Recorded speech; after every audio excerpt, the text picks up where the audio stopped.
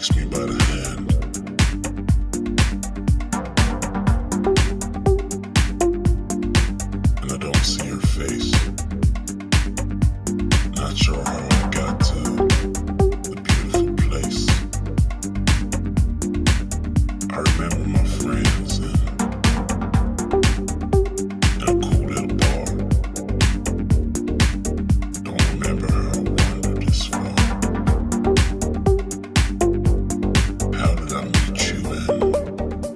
your name?